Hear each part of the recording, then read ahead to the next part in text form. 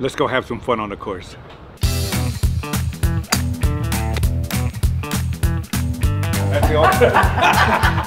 Now, it's really difficult to play from all around the greens. And the reason for it is because the greens now are higher. They're building them higher. It is you well know. If you've played an old golf course that was built in the 20s, notice how the greens are lowered to the ground. And that's simply because they didn't have the equipment to, to, to move the dirt and to pile it up. But most of these greens now are elevated. And by them being elevated now, every chip that you have now is going to be against the grain.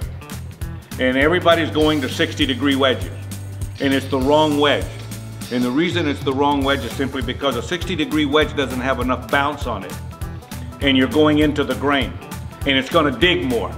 And chances are you're, you're dumping it a little bit. You're not getting underneath it. It's, it, it's catching. The grass is catching it because the grain is going this way and you're coming this way. So what you wanna do is go to the 56. And the reason you're going to the 56 is because the 56 has actually three to four to five degrees more bounce at the bottom of it than your 60. Won't dig as much. Also play the ball back a little bit.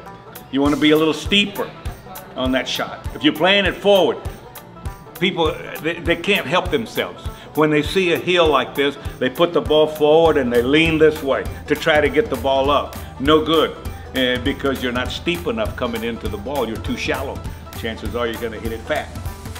So you, you, you wanna put the weight on the left side. 70% of the weight on your left thigh. Be a little steeper, put the ball back. If you keep hitting it a little heavy, keep moving it back.